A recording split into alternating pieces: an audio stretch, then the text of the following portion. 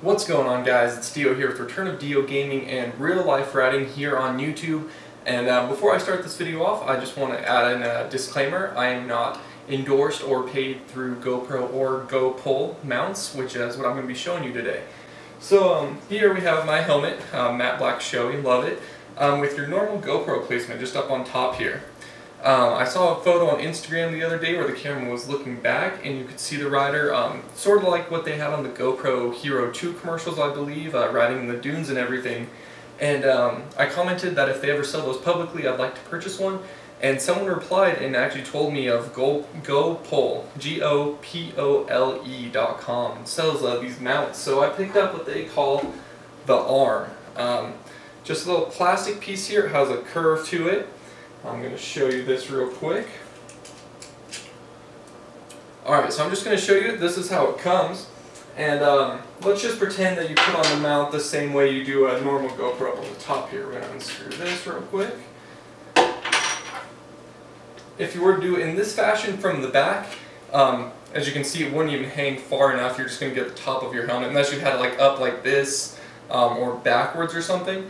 So you're going to need to do a separate mount and what you'll see looking at mine here is I've mounted it sideways.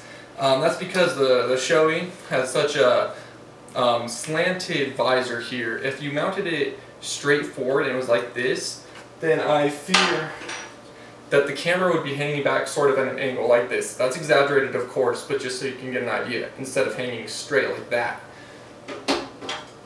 So what I decided to do with mine was mount this GoPro thing sideways. And I'm going to use this little extender that I think came with uh, the GoPro stuff. It might have been with the J-hook stuff.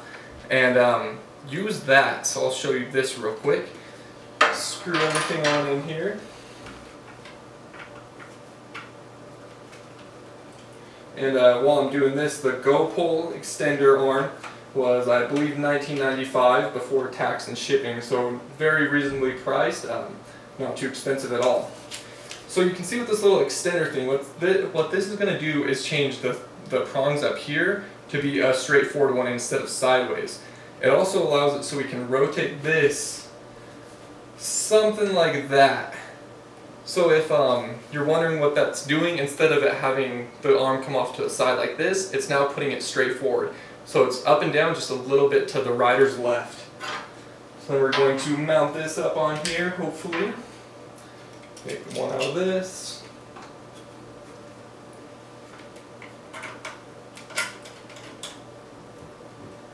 And there you have it. There you have the GoPole arm.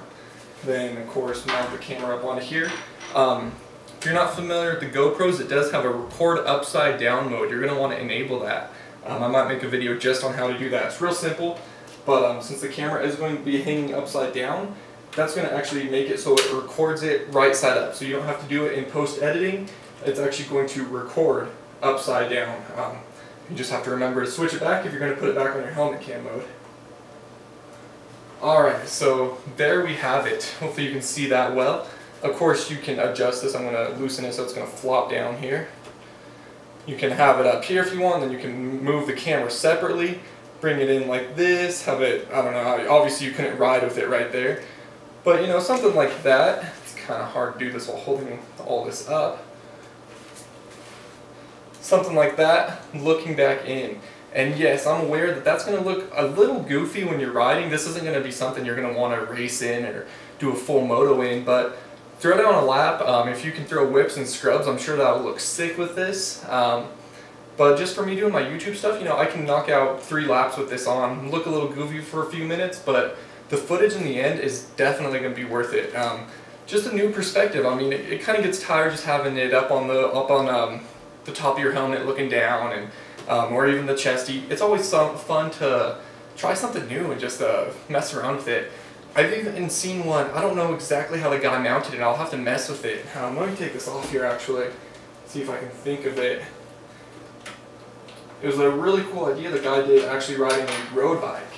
Um, he must have had a mount back here or something, or maybe down lower, and he had the camera hanging off the back like this, um, maybe like that, if you will, so you could see the back of his head and you were looking like over his shoulder, almost like a video game, Uh, not as far back, of course, but you could see his head and then his hands at the bars and then the road ahead of him. Um, so yeah, hanging something like that, I mean, even like that, you get a little bit of the, like fur further back on the visor.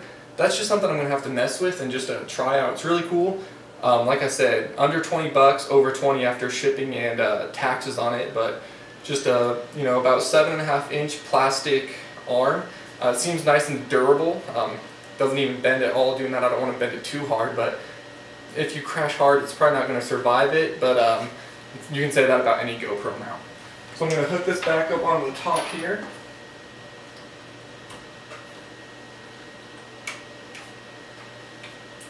While I'm actually filming this, if uh, I open up these blinds, it's actually snowing outside right now, uh, unable to ride, so when I post this, there will be some riding footage using the GoPole arm interlaced with this, um, so you can see what it actually looks like um, in use on a motocross bike.